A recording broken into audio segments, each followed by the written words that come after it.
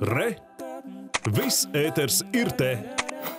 Jelgavas novada Vilces pagastā pirms pusgada uzklātais eksperimentālais asfalts, kuru sastāvā ir gumijas granulas, joprojām ir ideālā stāvoklī. Rīgas Tehniskās universitātes zinātnieki turpina darbu, lai izveidotu vēl vienu eksperimentālu ceļu posmu, kur asfalta sastāvs būs vēl vairāk uzlabots. Speciālisti prognozē, ka plašāk šāds segums varētu tikt izmantots pēc pāris gadiem, kad tehnoloģija būs kārtīgi pārbaudīta un ražotāji atbilstīgi aprīkos iekārtas.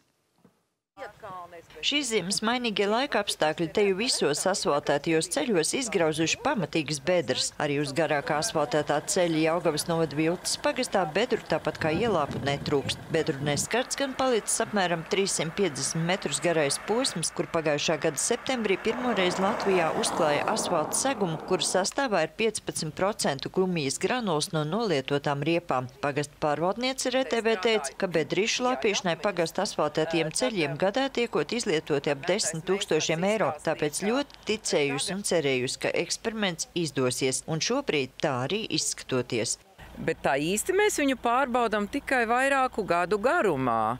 Te ir ļoti intensīva, smagā transporta kustība. Šeit ir meža karjeras, šeit caur pa šo ceļu brauc arī um, daudzi transporti, kas šķērso robežu pie dēņiem, ar šķembām, ar koku materiāliem.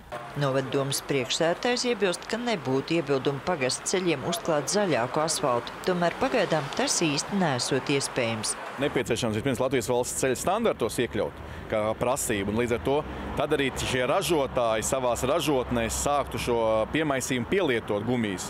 Šobrīd pērkot ceļa asfaltu pašvaldību, mēs varam nopirkt tas, kas tirgu ir pieejams kā rakstiskā komentārā skaidro uzņēmums Latvijas valsts ceļi, esošās specifikācijas neliedz būvniekiem izmantot pārstrādāto gumiju. Būvniekam jāgarantē kvalitāte, un ja uzņēmēja tehnoloģijas to ļauj izdarīt arī izmantojot gumiju, tas ir iespējams. Vienlaikus jānorāda, ka pat labā nav informācijas, kā šāds risinājums funkcionē ilgtermiņā reālos apstākļos. Tāpat nav zināms, cik efektīvi ir iespējams pārstrādāt ar gumiju modificētu asfaltu tā, lai nepārtrauktu ceļa sagā izmantoto aprites ciklu.